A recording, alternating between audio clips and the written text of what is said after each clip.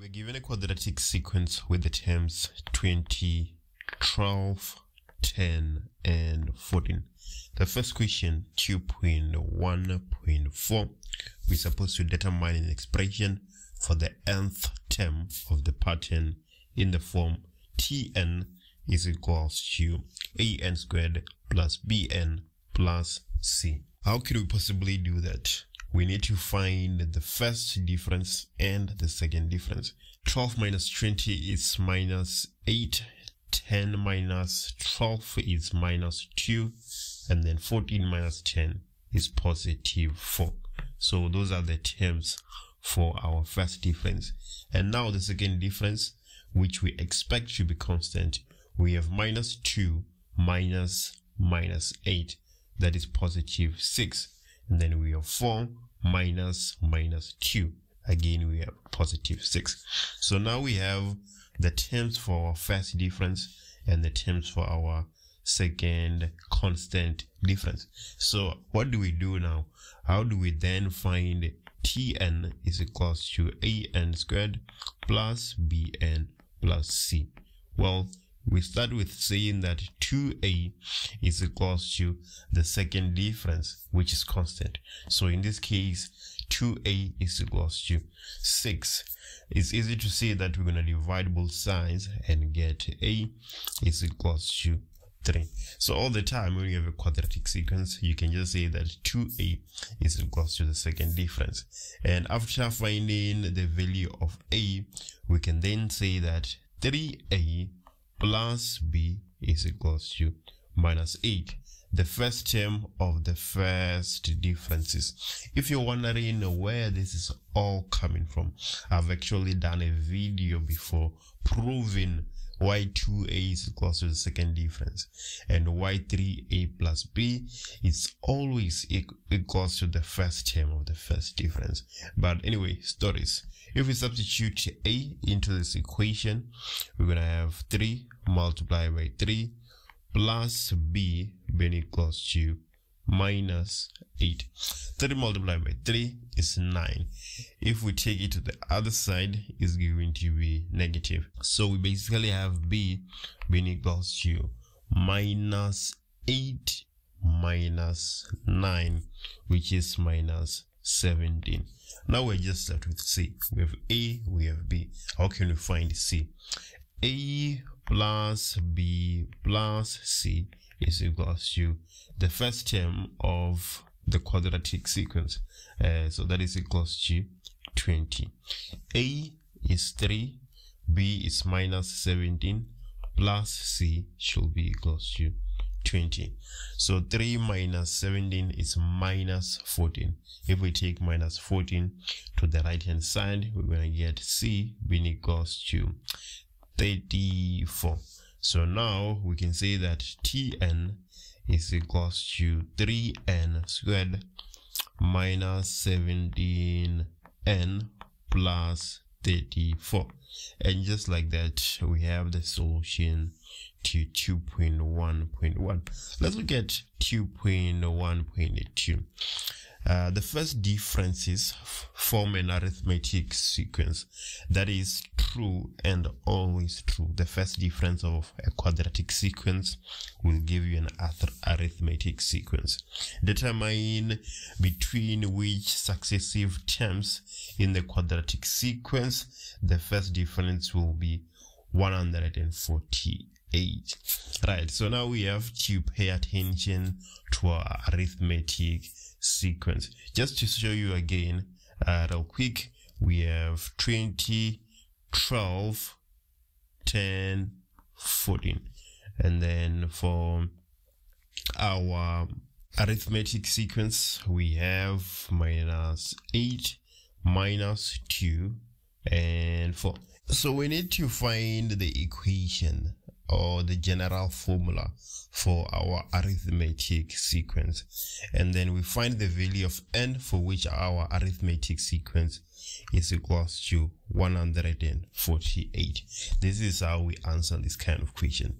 So to find the general formula or the general term of an arithmetic uh, sequence, you say that Tn is equals to a plus n minus 1 multiplied by d.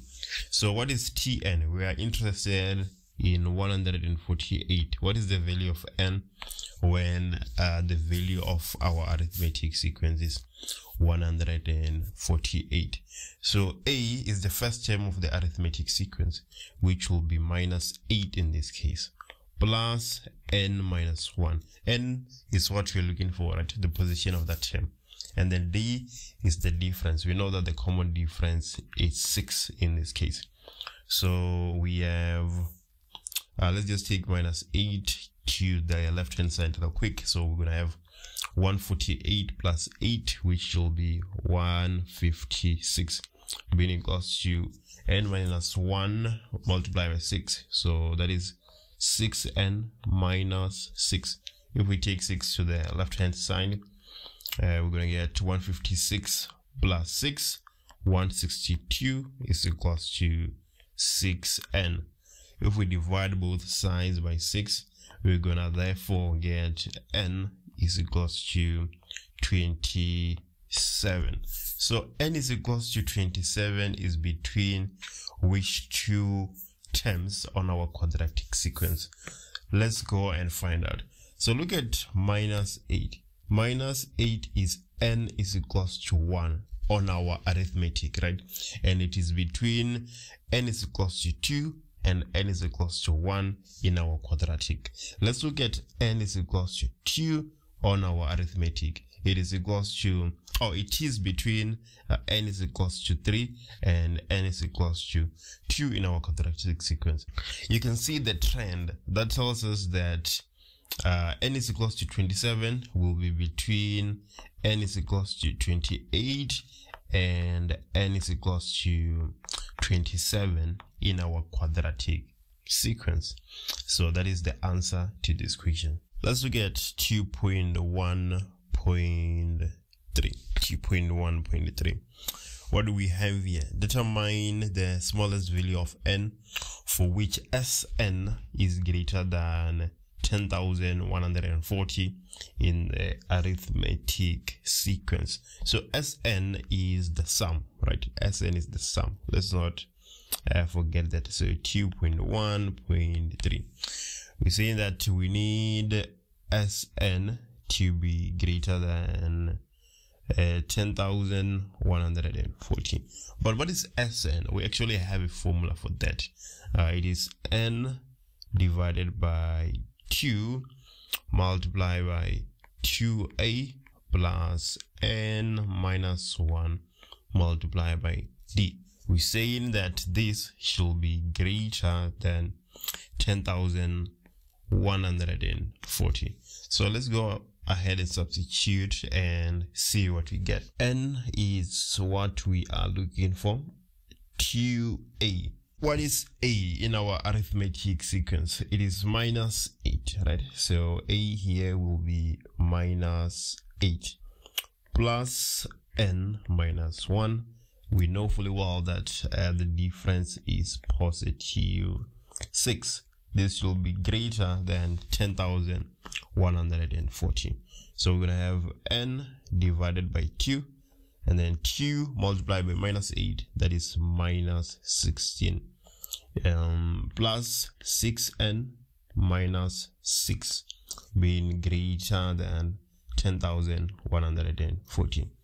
So n divided by 2 inside the bracket we're going to have minus 16 minus 6 that is minus 22 plus 6n being greater than 10,140 n divided by 2 multiplied by minus 22 is equals to minus 11n minus 11n and then n divided by 2 multiplied by 6n is equals to plus 3n squared. This is greater than 10,140 and then if we write this nicely we're gonna get 3n squared minus 11n now let's take this constant term to the left hand side so we're gonna have minus uh, 10140 being greater than 0. So now it's just a matter of factorizing.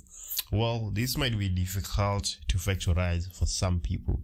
If you're one of those people, then you can just use uh, the quadratic formula.